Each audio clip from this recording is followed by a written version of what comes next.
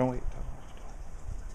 Okay, so uh, I'm gonna take the uh, punch and hammer, and we're gonna tap the pin through just a little bit, and take the cotter pin. It's gonna go through the hole, and it's a little bit stubborn. Gonna tap it in with a hammer if you have to. I'm just use a pair of pliers to push it in. Okay, there.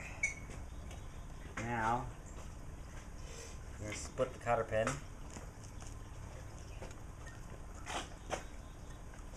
Like so. Okay, so the pedal's good. And you're going to take your gear cover, put that on. Put the nut, the screw that holds that in. And screw that down.